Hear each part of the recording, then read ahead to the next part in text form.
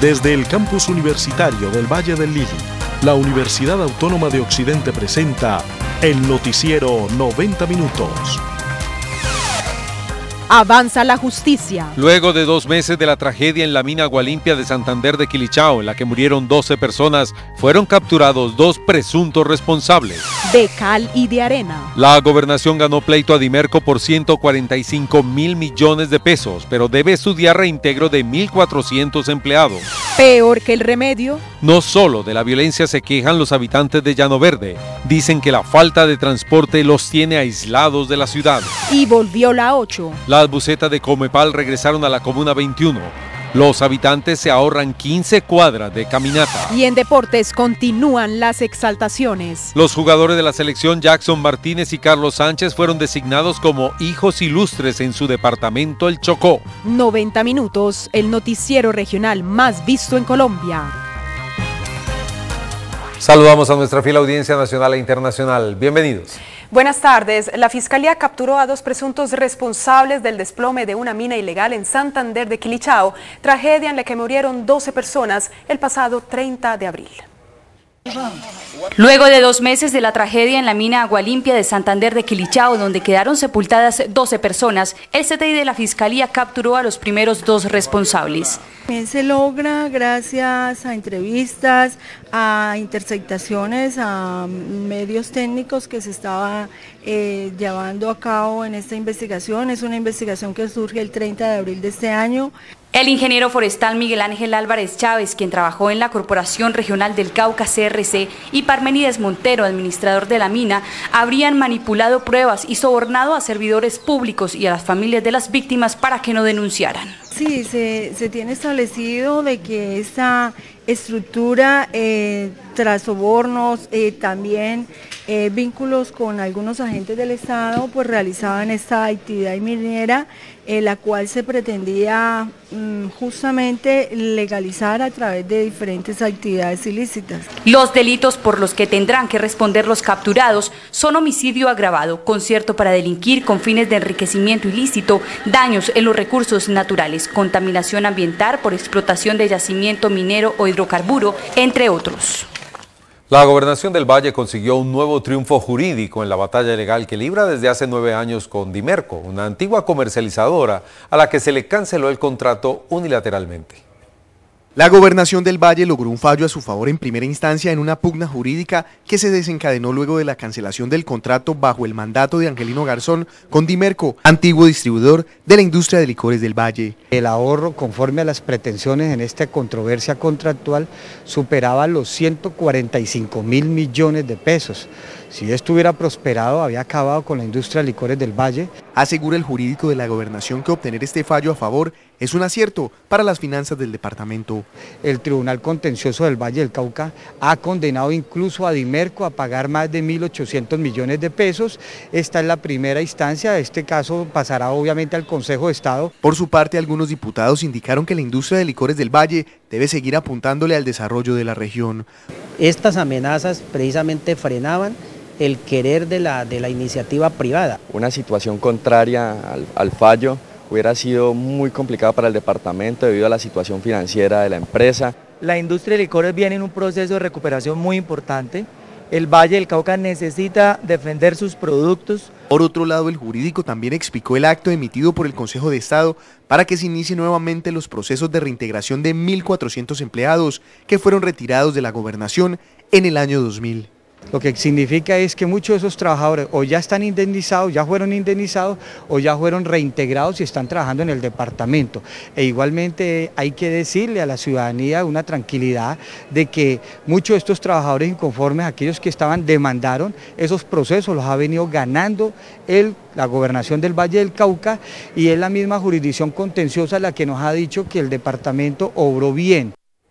Y en la segunda entrega del especial periodístico sobre las casas gratuitas de Llano Verde, veremos el aislamiento que sufren sus habitantes por las limitaciones del transporte.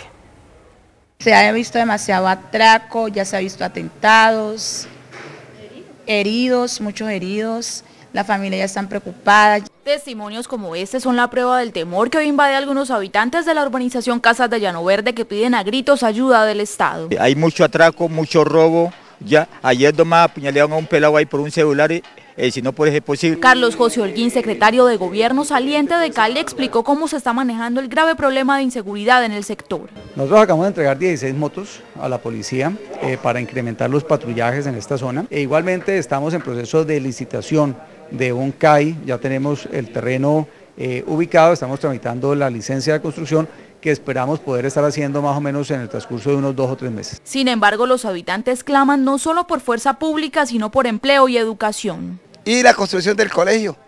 tenemos 10 mil millones de pesos para el colegio. Le mandamos al, al señor presidente un oficio pidiendo la construcción del colegio que tenemos 10 mil millones de pesos, la construcción del CAI. Pero el problema de inseguridad no es lo único que aqueja a esta comunidad, pues tampoco tienen transporte y la única ruta del mío que entra a la urbanización pasa cada hora. Que por favor nos colabore con el transporte masivo, con el mío, porque aquí la gente desde las 4 de la mañana madruga a trabajar y van llegando a 10, 11 de la noche. Hay que salir a buscar el Comepal allá en Unión a la avenida Olímpica y no se justifica porque, pues imagínense, caminar 10, 12 cuadras. La situación del transporte es complicada, por lo que ellos se atreven a proponer soluciones. Nos mejore el transporte aquí en la urbanización, dejando de entrar algunas rutas del transporte eh, antiguo que había, como la Comuepal, la Ermita, y que dentro de nuestra urbanización también hemos solicitado una ruta de unos jipetos que van hacia la Comuna 21, a Santa Elena. Sin embargo, en el sector los motorratones se han convertido en la única solución de movilidad. No tenemos un empleo realmente fijo. Entonces, para poder pagar nuestro recibo y darle nuestro alimento a nuestros hijos, la comida, tenemos que, pues, optamos por armar un grupo de 33 motos y ubicarnos en el Confan de IPS para transportar a la comunidad del barrio, porque la verdad, pues sí, no hay transporte. Ante eso, el secretario de Tránsito encargado aseguró que buscan soluciones junto con el Ministerio de Transporte para garantizarle el derecho a la movilidad a esta comunidad. Pues sí, hace falta en algunas zonas eh, ese, ese, ese, ese transporte que tiene que irse integrando. La zona de Llano, Llano Verde eh, es una zona relativamente nueva, es una zona en donde los accesos creo que son limitados desde el punto de vista de infraestructura.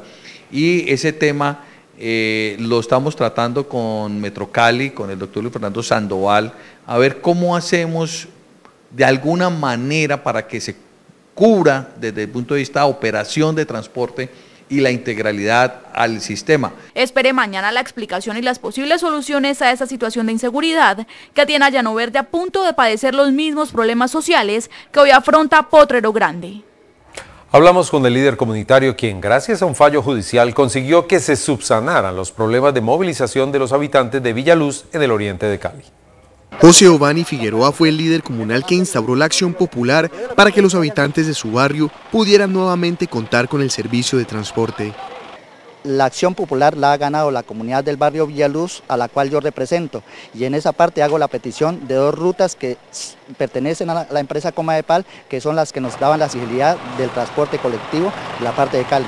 También quiero aclarar que no soy opositor del transporte masivo, al contrario, me alegra mucho que la ciudad de Santiago de Cali esté equivalente con las grandes ciudades del mundo. Lo único que pido es que no se margine al a la parte como es nosotros como usuarios. Este hombre consiguió cerca de 800 firmas para que su comunidad tuviera una solución digna del transporte y asegura que vigilará de cerca a la empresa Comepal para que cumpla con lo que el juez ordena. Si Comepal cumple, ¿qué va a pasar? Inmediatamente me le presento al señor juez y le digo, señor juez, la empresa Comepal no está en la posibilidad de cumplirme con la satisfacción en la cual yo hice la solicitud. Por favor, ordéneme una empresa que cumpla la, cumpla la satisfacción de mi comunidad. Este líder comunal además hizo un llamado a las autoridades municipales para que volteen sus ojos a este sector de la ciudad, ya que según él la han dejado en el olvido y eso no solo se evidencia en la falta de transporte, sino en el deterioro que sufren las vidas de acceso a su comunidad.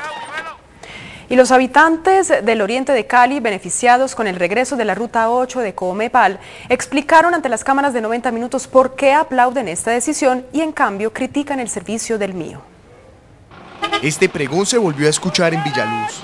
Volvió la 5 y la 8, volvió la 5 y la 8, ¿oyeron mi gente? La noticia hace dos días fue el fallo del Consejo de Estado que restableció dos rutas de la Comepal para solucionar las falencias en el transporte de Villaluz. Nos beneficia a todos porque es el único transporte que hay, el masivo para acá no entra. Así podemos llegar más rápido a nuestras casas y más efectivamente, es muy bueno. Hoy, la buena nueva para los habitantes de este barrio de la Comuna 21 es la facilidad con la que pueden abordar su vehículo de transporte. Y es que la travesía que tenían que emprender los habitantes de este sector de Cali para abordar una ruta del masivo era bastante larga. Tenemos que ir caminar más lejos para poder seguir, para poder utilizar el transporte. ¿Cuántas cuadras les toca caminar? Como unas 15 cuadras. Porque nosotros somos de un, barrio muy retirado y necesitamos la ruta porque no tenemos transporte. El masivo pues no entra por acá, nosotros nos dejaron olvidados y para nosotros salir digamos a Písamo o a la casona a coger un bus siempre nos queda bastante lejos, siempre son de 30 a 45 minutos. Los habitantes de Villaluz contarán con el servicio de las rutas de la Comepal hasta que Metro Cali logre suplir el servicio de buses en esta zona de la ciudad. Nuestra periodista Catherine Estacio se encuentra en la plazoleta de San Francisco, donde el director general de la policía anunció la captura del cerebro de las llamadas casas de pique en Buenaventura. Adelante, Catherine, buenas tardes. Buenas tardes, pues en su visita a Cali, el general Rodolfo Palomino, director de la Policía Nacional, se refirió a la captura de alias Orejas, presunto líder de la banda criminal La Empresa, que opera en Buenaventura. Alias Orejas fue capturado en Melgar, donde según el general Palomino simulaba trabajar como maestro de obra. Desde allí continuaba su accionar criminal, su accionar delictivo, vinculado en, una, en un concierto para delinquir, dirigiendo el accionar delictivo de cerca de 200 personas. Este hombre será juzgado por los siguientes delitos. Por concierto para delinquir con fines de narcotráfico, con fines de homicidio y con fines de extorsión, así como el desplazamiento forzado que se ha venido dando en el área urbana del puerto de Buenaventura. Alias Ureja sería el responsable de las denominadas casas de pique en Buenaventura y se encontraba entre los 14 líderes de bandas criminales más buscados en todo el país. El general también habló sobre la desarticulación de la banda delincuencial Los Diablitos, que tenían injerencia en el barrio Sucre, en el centro de la ciudad. Diez diligencias de registro de allanamiento permitieron la captura de 11 de los presuntos integrantes de la banda Los Diablitos. Otros cinco fueron capturados en flagrancia. Una banda dedicada especialmente a la distribución y tráfico de estupefacientes, que venían colocando como una especie de marquillas asociadas a figuras demoníacas, diabólicas, que era como la característica, era como el sello eh, de mercadeo de estas sustancias. En el operativo se incautaron 7,5 kilos de marihuana, 406.400 dosis de bazuco, 100.142 dosis de base de coca, un arma de fuego, 13 millones 80 mil pesos y se logró la inmovilización de tres vehículos. Estas declaraciones se dieron al final de la transmisión de mando de la Policía Valle, donde salió el coronel Mariano Botero Coy e ingresó como nuevo comandante el coronel Fernando Murillo. Esta es toda la información desde la plazoleta de San Francisco. Caterina Estacio, Noticiero 90 Minutos. el mejor lugar para triunfar. www.unicatólica.edu.co Alquería, 0% grasa la leche favorita de los que les gusta cuidarse. Una leche 0% grasa, 100% buena para ti. Pruébala, te va a encantar. Alquería 0% grasa. Cuídate por dentro y por fuera. Vive y revive la jugada. Con Incali TV tienes el control. Pausa y retrocede hasta dos horas. Llama al 177 o 524-0177. En Cali, más que TV. Las marcas te premian en la rebaja Droguerías y Minimarkets. Participa por uno de cinco viajes dobles a Cancún más dos millones de pesos, comprando cualquier producto de las marcas referidas. Mi amor, ya casi llegamos. Listo, mi amor, de una. Mmm, alitas barbecue.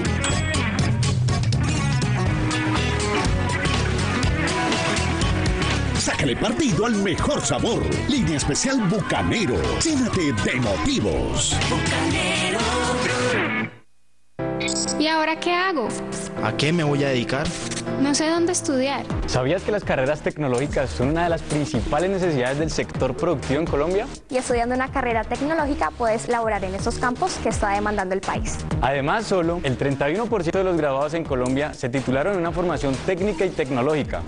Pero aún faltan más. Y cuando vayas a buscar trabajo te irá muy bien porque más de tres cuartas partes de los tecnólogos graduados consiguieron trabajo formal en su primer año de egresados. ¿Y si quiero salir del país? La Universidad Autónoma de Occidente, en convenio con un Community College del estado de Nueva York, ofrece la posibilidad de doble titulación. Eso significa título en Colombia y en Estados Unidos.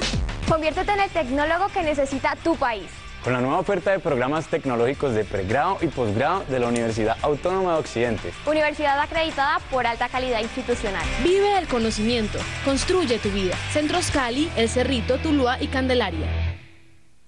Los giros en Supergiros son más cómodos, más rápidos, más seguros y con mejores horarios. ¿Para qué giros cuando hay Supergiros?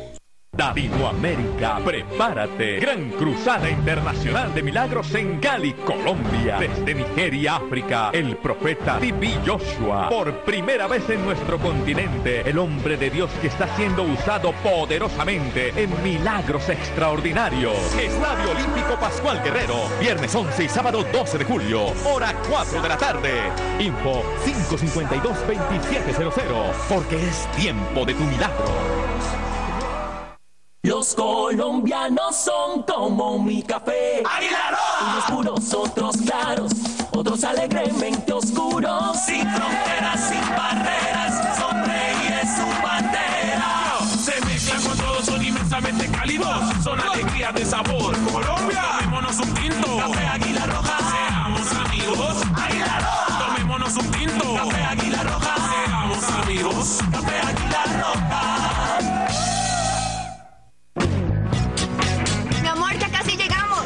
Listo, mi amor, de una. Mmm, alitas barbecue.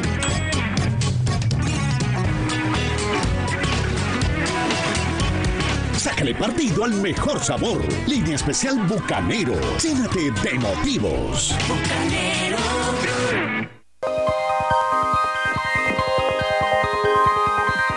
globalización es un hecho real. Necesitamos estar preparados para enfrentar el reto. La Universidad de Libre Seccional Cali ofrece especialización en negocios internacionales con énfasis en logística internacional. Informes PBX 524-0007, extensión 4333, celular 321-8006-056. Llegó el momento de pasar unas vacaciones diferentes. Aprende de cine, publicidad, diseño y periodismo de manera divertida y conociendo muchos amigos y con los que más saben de comunicación. Campamento de verano Comunicampus. Inscripciones abiertas julio 14 al 23. Informes 318-8000, extensión 11510. Universidad Autónoma de Occidente.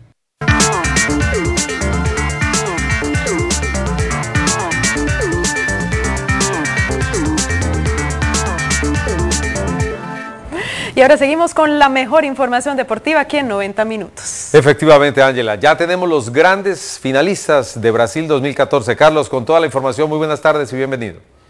Buenas tardes, Ángela y Rodolfo. En efecto, ya Argentina tiene su cupo para el domingo ante Alemania y todos los argentinos han celebrado, incluido el Papa Francisco. Y para ver cómo ha sido el festejo de los hinchas de la selección de Argentina, vamos a Brasil con Beatriz Ramírez, que está en Sao Paulo, y nos cuenta cómo festejaron los hinchas de Argentina en la tierra de su archirrival. Buenas tardes, Beatriz.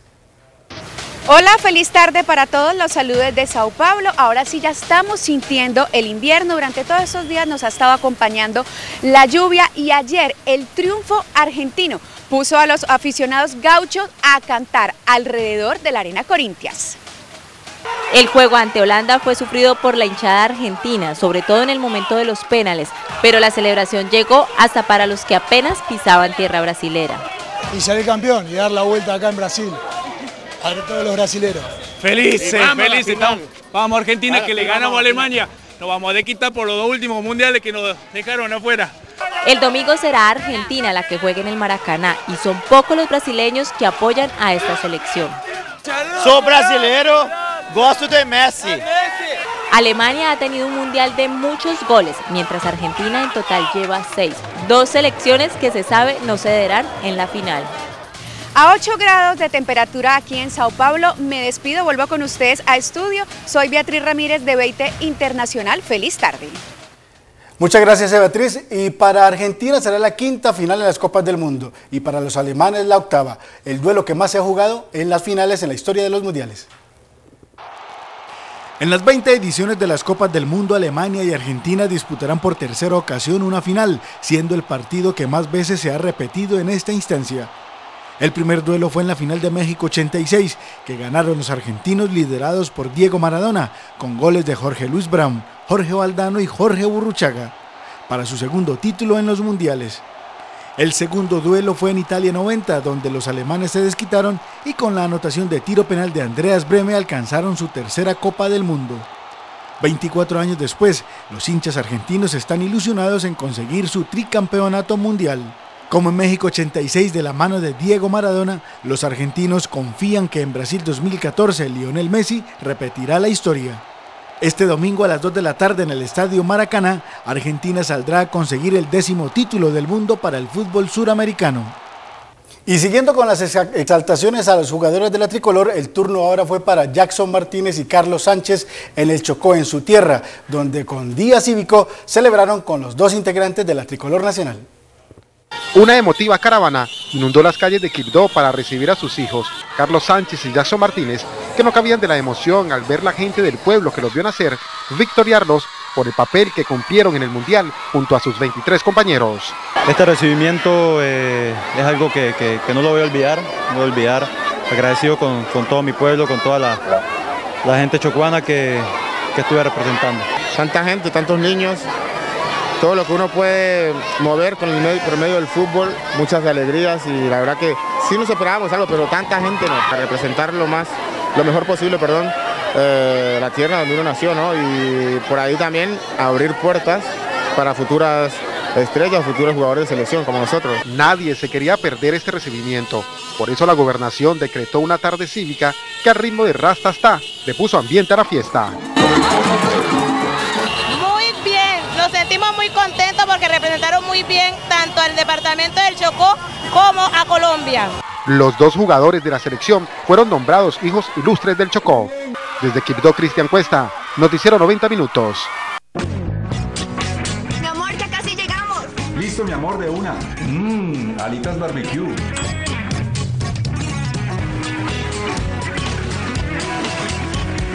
Sácale partido al mejor sabor. Línea especial Bucanero. Llénate de motivos. Bucanero. Las marcas te premian en la rebaja Droguerías y Minimarkets. Participa por uno de cinco viajes dobles a Cancún más dos millones de pesos, comprando cualquier producto de las marcas referidas.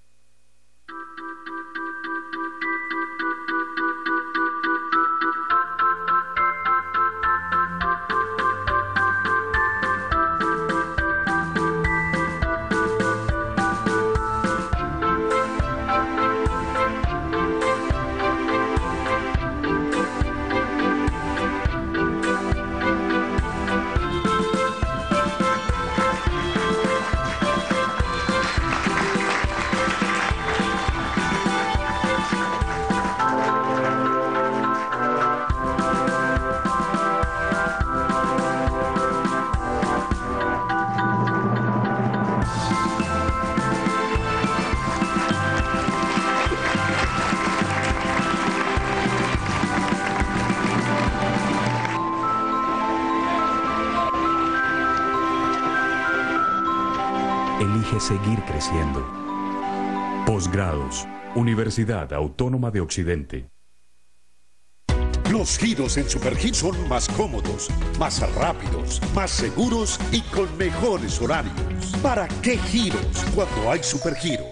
Latinoamérica, prepárate. Gran Cruzada Internacional de Milagros en Cali, Colombia. Desde Nigeria, África, el profeta Tibi Joshua. Por primera vez en nuestro continente, el hombre de Dios que está siendo usado poderosamente en milagros extraordinarios. Estadio Olímpico Pascual Guerrero, viernes 11 y sábado 12 de julio, hora 4 de la tarde. Info 552-2700, porque es tiempo de tu milagro. Dari, Dari, Dari. Cada momento Dari, dulce, fresco y delicioso. Dari, Dari, sorprende, comparte un rico helado en Dari. Date un gusto, Dari, Dari, Dari. Nos vemos en Dari.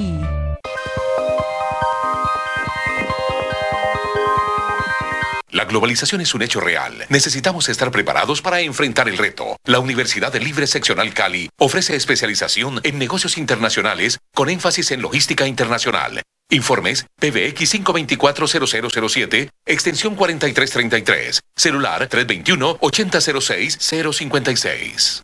Si usted es víctima de abuso de fuerza pública, accidente por mal estado de vías o negligencia médica, demande. No pague las consecuencias. Duque y Fernández Abogados, 880-4444. Volvemos a la información deportiva. Por la cuarta fecha de la Copa Postobón, Deportivo Cali igualó un gol con Universitario de Popayán, mientras que en el 12 de octubre, América y Cortuluá empataron sin goles. El cuadro americano frenó la racha victoriosa del Cortuluá que solo pudo sumar un punto en casa luego de empatar sin goles en el 12 de octubre. La opción más clara para el local fue al minuto 34 tras una falta que generó penal a favor de Cortuluá, cobrado por Carlos Rodas que no pudo vencer al arquero americano. Personalmente triste, eh, dolido por, por haber fallado eh, la jugada del penal, pero es una jugada más de partido, quería convertir porque el equipo jugó bien. Los rojos, que se quedaron con 10 jugadores por la expulsión de Gerson Gutiérrez, generaron con su nómina joven varias opciones de gol en el estadio 12 de octubre. Creo que el grupo supo asimilar la, la expulsión, fue muy ordenado, tuvo oficio dentro del terreno de juego, se mantuvo el bloque defensivo bien puesto. Y... En el grupo E, Cortuluá es líder con 10 puntos, Universitario de Popayán tiene 7, Deport Fútbol Club suma 6, Deportivo Cali 2, América 2 y Colero Deportivo Pasto sin puntos. Esta mañana en la Asamblea Departamental se presentó el proyecto de ordenanza que busca convertirse en la salvación económica de Indervalle y los deportistas de la región. La familia del deporte vallecaucano estuvo presente en la Asamblea Departamental para respaldar al gerente de Indervalle en la presentación de la ponencia de ordenanza que busca recursos propios para el deporte. Es un momento crítico para el departamento y para el deporte del Valle del Cauca, donde por un lado estamos inmersos en la ley 550 y tenemos un acuerdo de acreedores que hay que respetar, y por otro lado vemos cómo el deporte de Vallecaucán está necesitando de esas rentas para poder salir a flote. Entrenadores y deportistas de la región apoyaron la iniciativa que tiene como objetivo terminar con sus afugias económicas. Tener un recurso ya claro eh, para nosotros deportistas es importante. ¿Por qué razón? Porque tenemos una base para, para poder contar con los escenarios, para poder contar con las salidas. Ante la demanda de la tasa pro deporte, este proyecto de ordenanza es la única salvación para Indervalle. En este momento va a quedar sin un rublo de 14 mil millones de pesos, que es lo que lo sostiene. Y además hay que recalcar que el gobierno nacional a través de Coldeporte le ha disminuido los recursos a Indervalle. Luego de la presentación se espera que al final de este mes se defina la suerte del proyecto de ordenanza. Y en nuestra sección de entretenimiento, nuestra compañera Yareli Zapata habló con Johanna Ortiz sobre su participación en la Feria Colombia Moda, que tendrá lugar próximamente en Medellín. Vive y revive la jugada. Con Incali TV tienes el control. Pausa y retrocede hasta dos horas. Llama al 177 o 524-0177. En Cali, más que TV.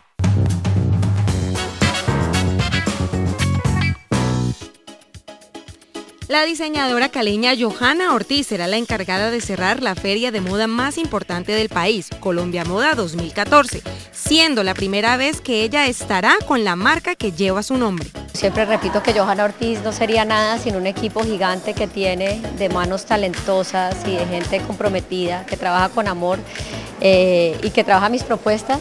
Eh, consideramos que es una persona que representa el futuro de la moda eh, en Colombia y esa es la apuesta grande que estamos haciendo este año con Colombia Moda. Es una promoción de todos estos grandes diseñadores que van a representar precisamente lo que será la moda en los próximos años. Nativa del Mundo es el nombre de la pasarela que se lucirá en la capital antioqueña. Es una mujer viajera, es una mujer que tiene espíritu libre, eh, es una mujer femenina, una mujer que va enriqueciendo una maleta en cada puerto y en cada ciudad, recogiendo como esas piezas que son representativas de cada lugar. Este parque, ubicado en la calle Novena frente a las piscinas de las canchas panamericanas, fue escogido para llevar el nombre de Petronio Álvarez, en homenaje a este personaje quien dejó un legado musical en Cali. Va a tener el busto, que es un regalo que le hace a la ciudad el maestro Cristian Oviedo, que es un joven escultor de nuestra ciudad. La inauguración de este parque se llevará a cabo durante el Festival de Música del Pacífico Petronio Álvarez a realizarse en agosto. Eh, va a ser un homenaje donde toda la, familia de Petronio, que en su mayoría son músicos, van a hacer un montaje de, de las canciones inéditas del maestro. Hoy y mañana en el Teatro La Máscara, ubicado en San Antonio, se llevará a cabo el estreno de Fervorosos Pasos, una obra de danza contemporánea del coreógrafo y bailarín ecuatoriano Wilson Pico, quien además es pionero de este género en su país. Este recital eh, se inspiró en una fiesta que se realiza todos los años en la ciudad de La Tacunga, en Ecuador. Esta fiesta de la Virgen de las Mercedes eh, tiene muchísimos personajes. Yo he elegido tres de, eso, de esa fiesta. Para este coreógrafo, la danza contemporánea en Colombia ha evolucionado positivamente y cuenta con un importante apoyo del Estado.